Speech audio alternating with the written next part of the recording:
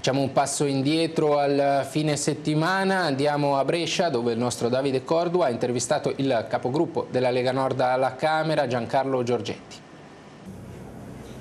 Ecco, a livello nazionale, oggi il Ministro Giovannini ha detto che nel, nei giovani, i disoccupati nel mondo giovanile non è il 40% come sono usciti i dati, ma è solo l'11%, sono 650.000. Ecco, lei è d'accordo o no? Beh, innanzitutto eh, Giovannini era mio collega saggio, quindi se lo dice lui io... L'Istat, eh, se lo cioè dice l'Istat. Cosa, cosa, cosa che vi dica? L'Istat è l'Istat, io non so, eh, io ho un problema, ho un problema che non è semplicemente quello dei giovani, che mi sembrano tanti, che cercano il lavoro e non lo trovano, ma c'è anche quello dei 40-50 anni che perdono il lavoro e non lo trovano più.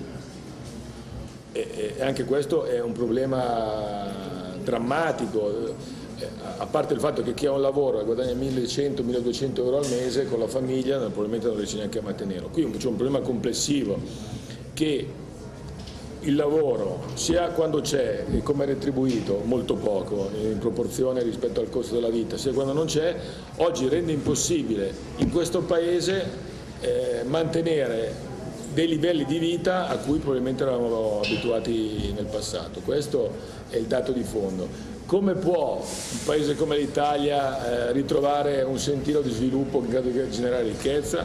Eh, adesso tocca a Giovannini, che è molto bravo, che rispetto, anzi a cui sono molto legato tanti anni quando veniva con l'Istat a portare un esame della situazione, io gliel'ho detto, adesso quando si passa alla politica non si tratta più di guardare i dati e fare valutazioni, si tratta di fare delle proposte. Allora, se sono così pochi disoccupati giovanili eh, non ci sarebbero gli appelli del Presidente della Repubblica, non ci sarebbero gli appelli di tutti quanti. Temo che purtroppo siano comunque tanti quelli che stanno male, bisogna trovare delle buone idee per, eh, per creare lavoro vero e non lavoro finto, perché il lavoro finto poi alla, alla fine finisce e, e crea ulteriore disagio.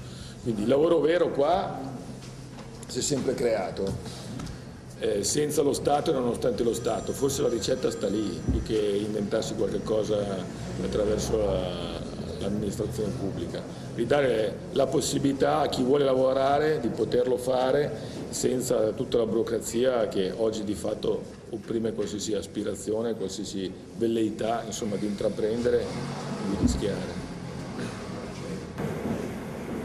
Ecco, i grillini perdono i pezzi, due sono andati al gruppo misto, uno si è sospeso alla, dal gruppo al Senato, eh, lei come, come, li giudica? Io non sono tra quelli che quando sono andato in Parlamento eh, in qualche modo li ridicolizzavo, che dico che non esiste nessuna organizzazione al mondo che possa reggersi sul principio assembleare e in mancanza di un capo riconosciuto presente in grado di guidare le operazioni quindi non è che puoi prendere tutte le decisioni su assemblea, alla sera fa sempre l'assemblea in 120, è inevitabile, qualsiasi studio di organizzazione o di psicologia vi dimostrerà che, nel corso del tempo si creano i gruppuscoli, le rivalità, quindi quando non c'è un collante ideologico comune, quando non c'è un capo riconosciuto, queste cose sono destinate inevitabilmente ad accadere e si moltiplicheranno.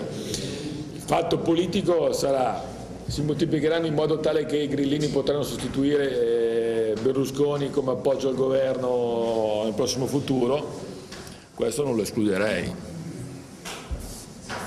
perché buona parte del gruppo eh, di quelli di Grillo ha chiaramente diciamo così, orientamenti ideologici prossimi alla sinistra estrema o estrema sinistra, indipendentemente da quelli che li votano. Eh.